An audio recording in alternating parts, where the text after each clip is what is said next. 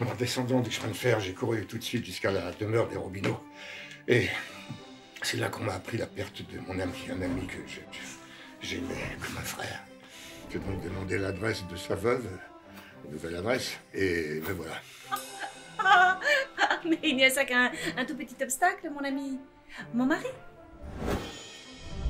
Quand je pense à cet imbécile de Robineau qui me disait toujours Ah, ma femme, quelle femme confiante, jamais de où vas-tu, de où as-tu été? Vous avez cru comme moi que c'était un mari fidèle, un époux modèle Eh bien, il m'a trompé, trompé toute sa vie. J'ai préféré m'expatrier plutôt que de céder à la tentation. Mais qu'importe, j'ai désormais la clé de tous vos stratagèmes. On ne peut plus m'abuser de sornettes, j'ai le recueil. Eh ben la voilà la femme confiante. C'est insupportable pour un mari de se voir sans cesse épié, surveillé. Surtout au moment où, où il ébauche un roman.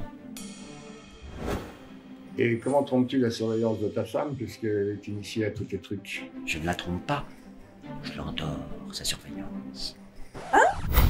Le système Rivadier, le théâtre de la Michaudière.